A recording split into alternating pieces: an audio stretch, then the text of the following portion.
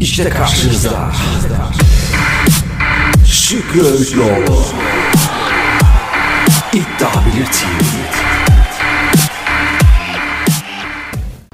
Evet sevgili bahis severler hepiniz yeni bölümümüze hoş geldiniz. İyi pazarlar diliyorum. 27 Eylül pazar günün bülteniyle sizlerle beraberiz ama durun ileri almayın. Buralarda çoğunuz ileri alıyor ya da isterseniz alın. Önemli sürprizlerimiz var çünkü.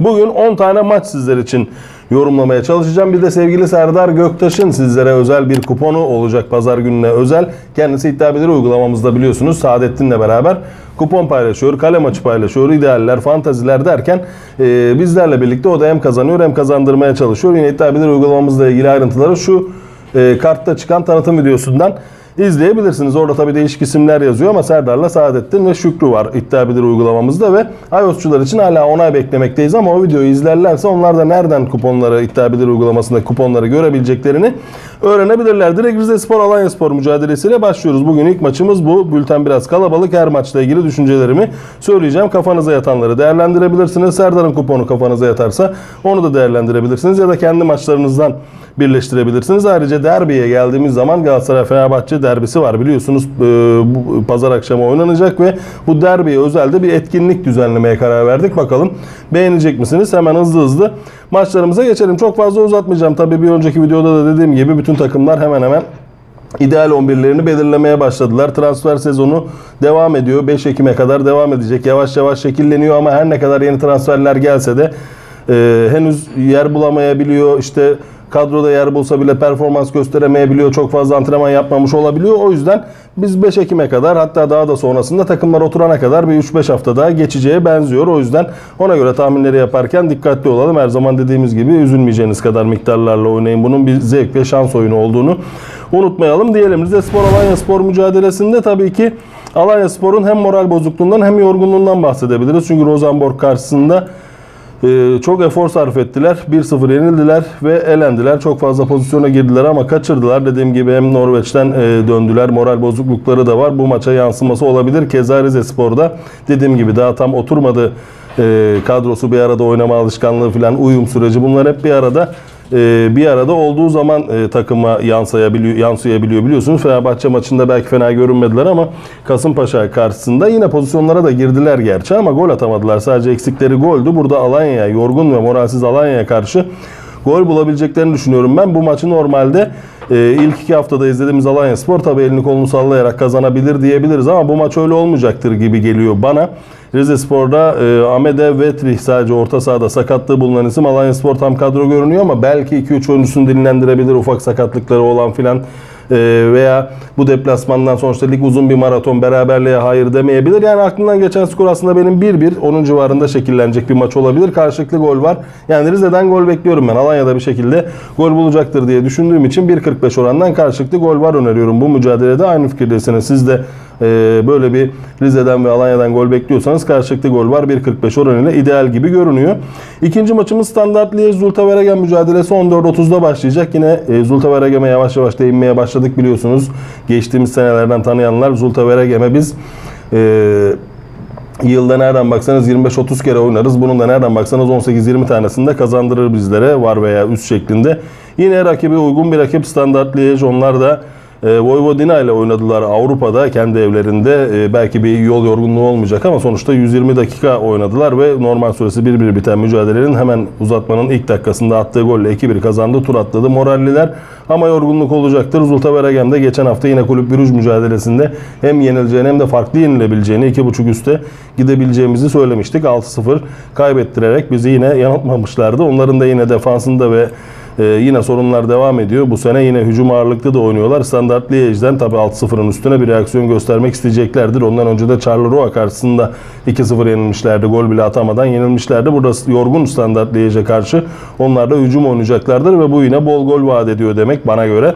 O yüzden onun da gollerinin katkılarıyla Standart Liège'den ben 3-1-3-2 gibi gollü bir galibiyet bekliyorum ama e, sürpriz çıksa bile gollü bir maç olacaktır diye düşünüyorum. Zulta Veregem inşallah düşündüğümüz gibi oynar da kaçırmaz. O da gollere eşlik eder. 2.5 üst 1.50 orandan tavsiye ediyorum. Pazar günü için ikinci maçımız buydu.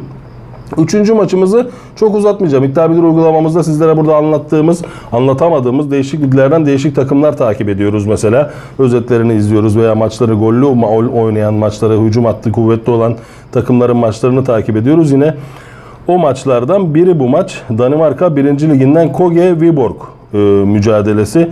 E, saat 14.30'da oynanacak bu mücadelede yine bir önceki maçlarında başarılı olmuştuk. Yine Koge'nin Kolding'le oynadığı mücadeleyi değerlendirmiştik. Bol gollü olur diye 4-2 bitmişti. Viborg'un da e, yine Kolding'le oynadığı ve Sikive ile oynadığı maçları değerlendirmiştik. Burada da yine her iki takımın hücum hattına güvenerek ben e, bu maçta da birbirlerine rahat bir gol atabileceklerini düşünüyorum. Sakatı cezalısı e, takımda önemli bir eksik görünmüyor çünkü. O yüzden karşılıklı gol var. Burada 1.50'den değerlendirilebilir gibi. Siz de inceleyin. Kafanıza yatıyorsa öyle değerlendirin diyelim.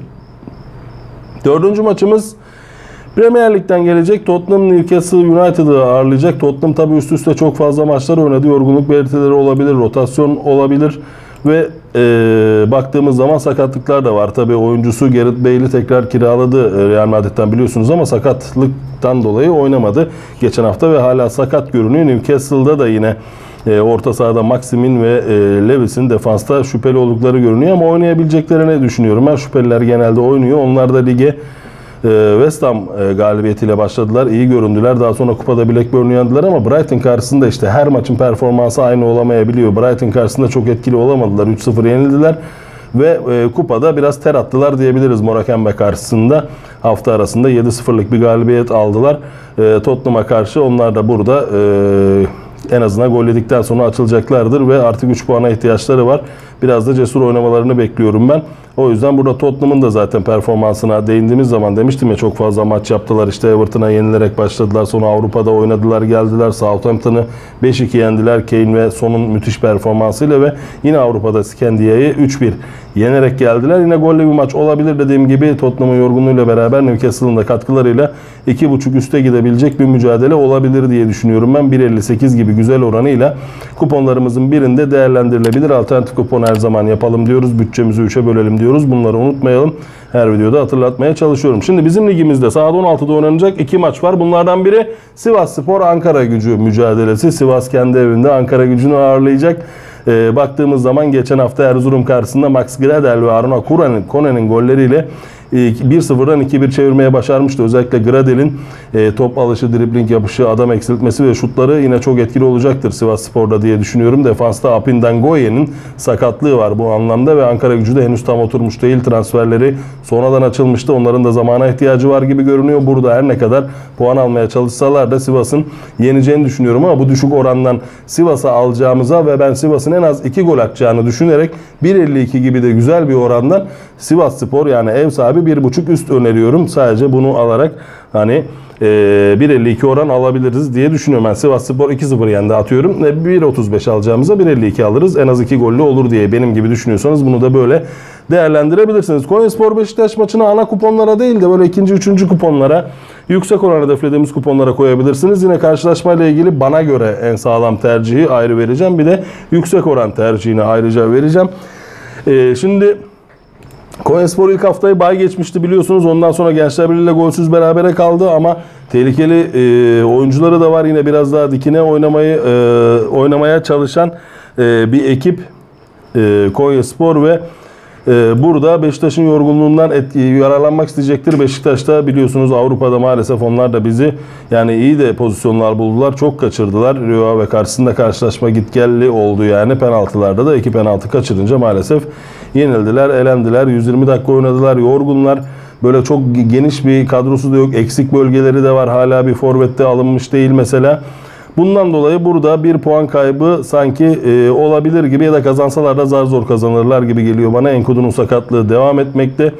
E, Konya Spor'a da baktığımız zaman onlar da burada büyük takım olmasının da etkisiyle tabii bunun motivasyonuyla Ömer Ali Şahiner olsun, Şikaleşi olsun onlar da e, Eduk olsun, Kravets'i de aldılar. E, Artem Kravets'i biliyorsunuz o da forma giyebilir. Bundan dolayı Şengel ya, e, Hadzi Ahmetoviç, Yevtoviç olsun tehlikeli ve önemli oyuncularıyla beraber Konya Spor'da Beşiktaş'a zorluk çıkaracaktır diye düşünüyorum. İlk yarıda, ilk yarıda fazla tempo beklemiyorum açıkçası. Maçın sağlam tercihi bana göre 3.5 alt olacaktır. Oranı 1.25 yeter diyorsanız ve benim gibi çok fazla gol beklemiyorsanız 3.5 alt biraz daha riskli değil de ilk yarıda ben birden fazla gol çıkacağını düşünmüyorum. Oran arttırmak için ilk yarı 1.5 alt. Çünkü 3.5 altlarda genelde ben ilk yarıda da çok fazla gol beklemediğim için 0 ya da 1 gol olabilir diye. İlk yarı 1.5 altın oranında 1.32. Bunları e, sağlam ve düşük tercihli olarak alabilirsiniz. Yüksek oran için ne yapabiliriz derseniz maçın 1-1'de kalacağını ya da en fazla bir tarafa dönse de 2-1 ile döneceğini düşündüğüm için klasik bir 2-3 gol mücadelesi gibi geliyor bana. 1.70 orandan yüksek oranlı 2-3 gol maçı olarak da bunu değerlendirebilirsiniz ama ana kuponlarınıza önermiyorum bu maçı koymayı ben.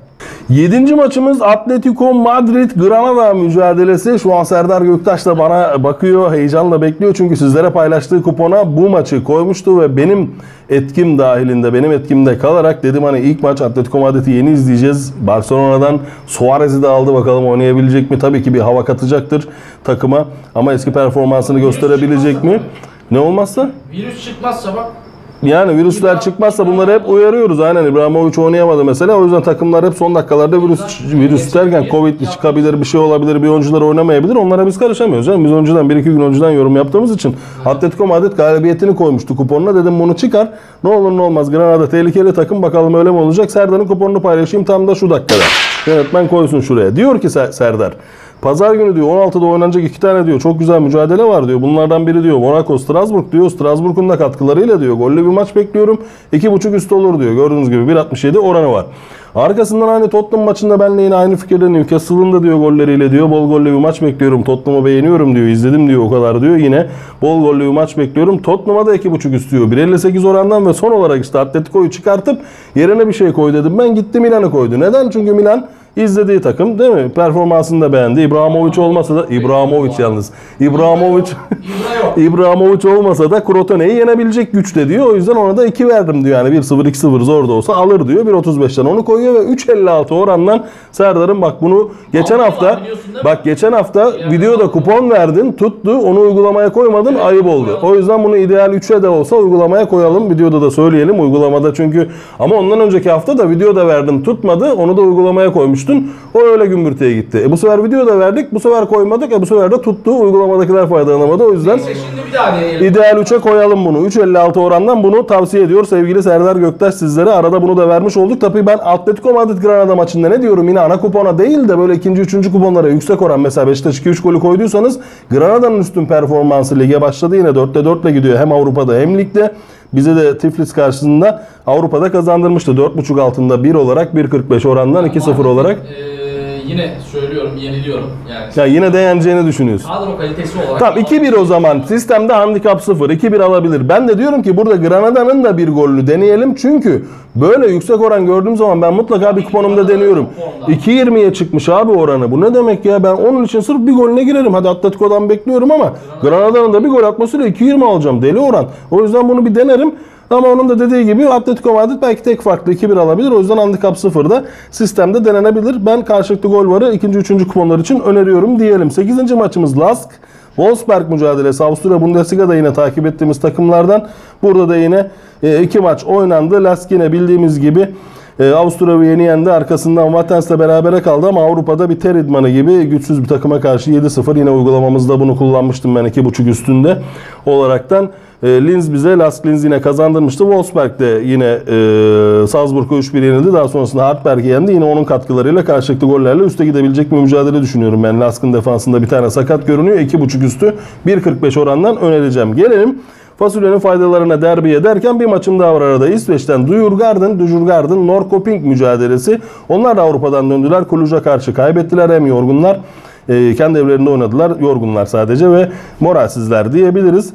E, Norrköping de yine 3 maçtır yenilmiyor. Onlar da çıkışta bir ekip. O yüzden burada deplasmanda da olsa yorgun Dujurgården'a karşı gol bulabilirler diye düşünüyorum ben. Keza ev sahibi ekibin defansında ve orta sahasında sakatlıklar var.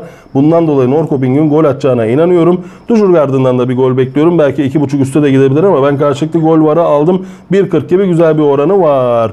Manchester City Leicester City'ye değinmedim. Oran değmiyor. Üstte oynasan ne oynarsan oyna bana göre riskli de.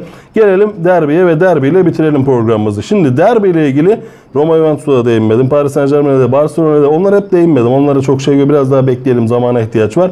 Şimdi derbide arkadaşlar çok önemli olan bir şey var. Bir takımların kurgusu oyuncuları. iki bizim etkinliğimiz. Ben girmeden önce şeyi söyleyeyim. Dur işte iki bizim etkinliğimiz diyorum. Derbide ödüllü derbi skoru yarışması yapacağız. Böyle bir yarışma düzenleyelim dedik. Böyle bir etkinlik olsun. Böyle bir atraksiyon, ne bileyim böyle bir etkileşim halinde olalım. Peki nasıl olacak bu? Düşündük taşındık yönetmenimle ne yapabiliriz diye. Önce ödülü söyle ya. Önce ödülü mü söyleyeyim ne Tabii, yapacaklarını mı? önce ödülü- Önce ödül şu arkadaşlar ama burada kesinlikle bir yanlış anlaşılma olmasın. Bakın yanlış anlaşılma olmasın. Sadece e, neye teşvik ediyoruz? Sizin aşağı yorum yapmanızı ve bizleri Instagram'dan takip etmenizi. Sadece istediğimiz bu. Bunlara teşvik ediyoruz biz. Ve bunun karşılığında da size hediye olarak ne yapabiliriz dedik. Hani o mu ilgisini çeker, bu mu ilgisini çeker, şunu mu versek, bunu mu versek derken şöyle bir şey aklımıza geldi. Derbi skorunu tahminini aşağı yorumlara sabitliyorsunuz. Tabi aşağı inmişken de bunun karşılığında bir beğeni yaparsınız herhalde. Ya tamamen iyi niyetli ve ihtiyacı olmayan da bu işe girmesin. Öğrenci arkadaşlarımız daha çok girsin. Hani şey yapalım bir deneyelim dedik bakalım nasıl olacak. Eğer güzel olursa, güzel etkileşim alırsak ve bir sonraki derbilerde yine böyle bir durumumuz olursa yine yapacağız. Nedir ödülümüz? 50 lira bütçe ayarladık bunun için. 50 lirayı da 5 kişiye 10'ar lira dağıtalım dedik. Bu kadar. Yani ne olur bir simit ayran yersin. Ne bileyim bir otobüs biletine 10 lira para doldurursun. Ha? Ne yapabilirsin başka? Ne bileyim 10 lirayı değerlendir bir, bir şekilde yani.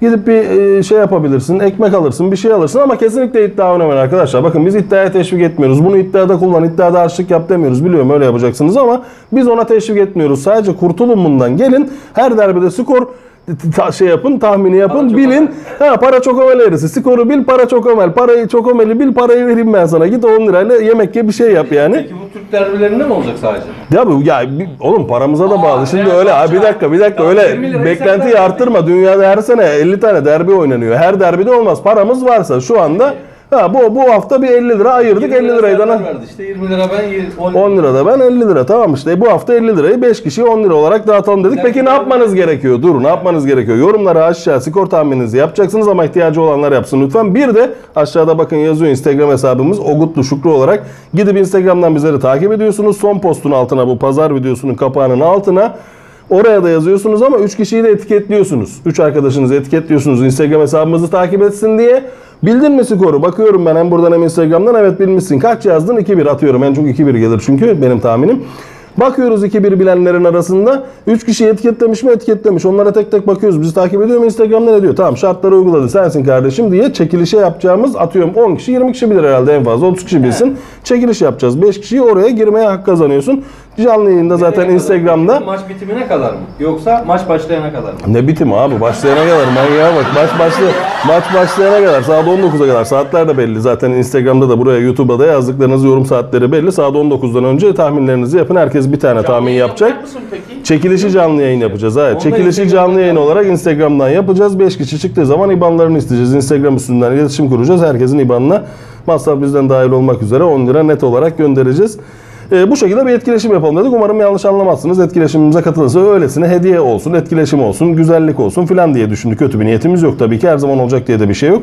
Paramız oldukça derbilerde böyle Yani etkinlik yapmaya yapacağız? çalışacağız. YouTube'a yorum yapacağız. Aşağı yorum yapacağız. Bir de beğeni yapacağız. Bak o beğenileri de görüyoruz. Yorum yapıp skor tahmini yapmış ama beğeni yapmamış. Ya da gidip Instagram'a yazmamış. Olmaz. Onu da yapacaksın, onu da yapacaksın. Onu 3 kişiyi etiketleyeceksin. O 3 kişi de Instagram hesabımızı takip ediyor olacak aktif. Ben 10 liraya gönderdim. O senden çıktı mı 10 liraya geri isterim. Söyleyeyim. Hayda. Öyle olmasın yani.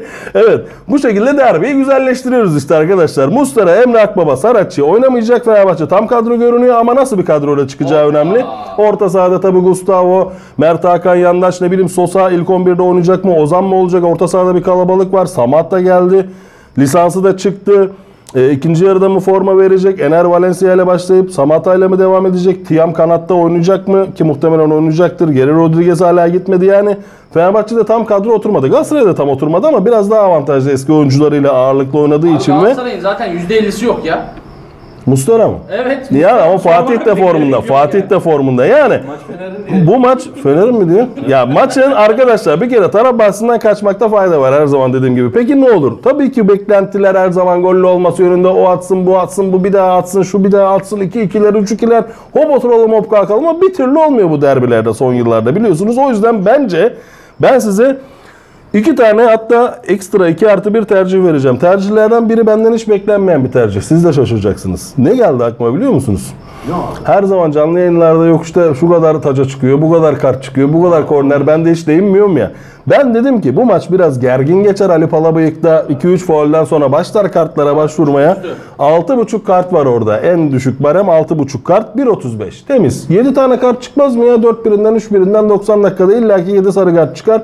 O yüzden 1.35'ten 6.5 kartı öneriyorum bu bir. Ama şunu unutma Şükrücüğüm bir şey ekleyebilir miyim? Özür dilerim. Kırmızı kart da çıkabilir bu arada. ha. Bir kuponun Tabii birine ama- kırmızı kart varın oranı 2.10 çünkü o da denenebilir. Bildiğim kadarıyla seyircisiz oynanıyor maç. Evet. O baskıyı hissetmeyebilirler belki kırmızı için.